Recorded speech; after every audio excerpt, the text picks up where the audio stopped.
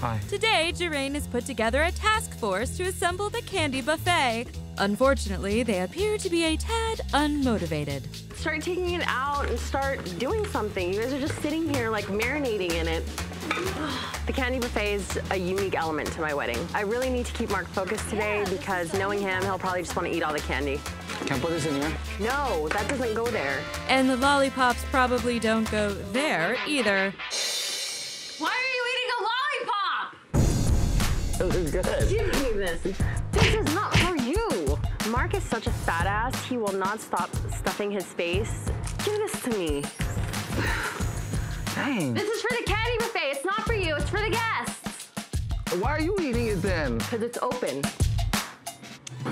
The candy buffet is just another visual aspect that's just gonna make my wedding better and bigger than anyone else's. You know, something that people haven't seen. Right.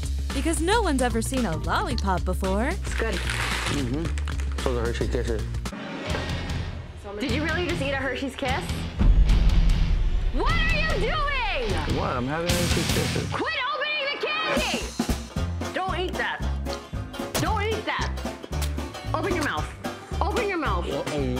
Open that right now. I think she's out of line. She's just so rude. Put it back in the wrapper. Put it back in the wrapper. Mark helping out with the wedding is causing some stress in our relationship. He thinks everything's funny and that this wedding is just some big game. Says the woman tackling her fully grown fiance to rip candy from his mouth.